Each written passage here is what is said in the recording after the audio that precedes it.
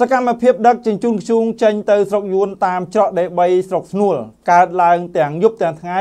សមត្ថកិច្ចពាក់ព័ន្ធរក្សាភាពស្ងៀមស្ងាត់ TNM ទូរទស្សន៍អនឡាញដំបូងគេនៅកម្ពុជាប្រពន្ធព័ត៌មានពីប្រជាពលរដ្ឋក្នុងឃុំពីធ្នូស្រុកស្នួលខេត្តក្រចេះបានឲ្យដឹងថាឈ្មួញធ្វើសកម្មភាពដឹកជញ្ជូនខ្ជូងចេញទៅស្រុកយួនតាមច្រករបៀងដេ3ក្បែរច្រកទ្វារអន្តរជាតិត្រពាំងស្រែយ៉ាងពេញបន្ទប់គ្មានញញើតអ្វីទាំងអស់ប្រពន្ធបានឲ្យដឹងទៀតថារយៈពេលជិត1ខែមកហើយដែលឈ្មួញដឹកជញ្ជូនខ្ជូងចេញទៅស្រុកយួនតាមច្រកដេ3ទាំងថ្ងៃទាំងយប់ដោយគ្មានមន្ត្រីជំនាញឬសមត្ថកិច្ចណាចាត់វិធានការទប់ស្កាត់ទាល់តែសោះដូច្នេះហើយទើបមានការជំរុញឲ្យលោកសានប៊ុនឋាន មេបញ្ជាការកងរាជអាវុធហត្ថខេត្តក្រចេះព្រមទាំងលោកលុនសុផាតស្នងការនគរបាលខេត្តក្រចេះនិងលោកវ៉ាថនអភិបាលខេត្តក្រចេះពិនិត្យឡើងវិញខ្លះផងព្រោះបទល្មើសកើតឡើងយ៉ាងកំហុកមន្ត្រីអង្គការក្រៅរដ្ឋាភិបាលបានលើកឡើងថាក្រុមឈ្មួញធ្វើសកម្មភាពដឹកជញ្ជូនខ្ជូងចេញទៅស្រុកយួនតាមច្រកដេ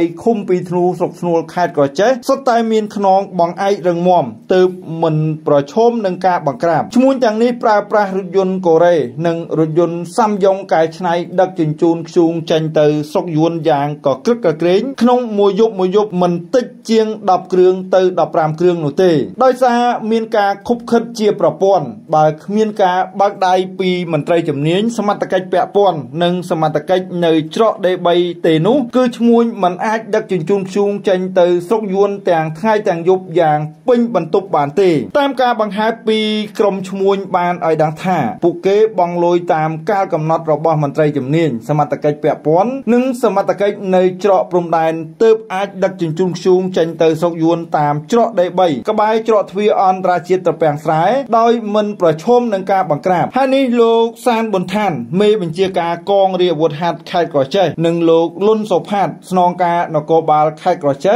មិនគួរមើលរំលងសកម្មភាពក្រុមឈ្មួញដឹកជញ្ជូនខ្ជូងចេញទៅស្រុកយួនតាមច្រកដី3យ៉ាងកំហុកនោះទេមជ្ឈដ្ឋាននានាបានសម្ដែងសេចក្តីព្រួយបារម្ភថាព្រៃឈើនៅសេសសល់ក្នុងខេត្តក្រចេះជៀសមិនផុតពីការរលាយសាបសូន្យនោះទេព្រោះបទល្មើសនាំចេញខ្ជូងទៅស្រុកយួនតាមច្រកដី3តាមច្រកអូតាវ៉ៅនិងច្រកផ្សេងទៀតកើតឡើង PH Electronic មានលក់និងជួសជុលម៉ាស៊ីនព្រីនគ្រប់ប្រភេទអាស្រ័យស្ថានតាមបណ្ដោយផ្លូវម៉ៅស៊ីតុងជិតសាលាសន្ធមមុខទំនាក់ទំនង098 34 56 31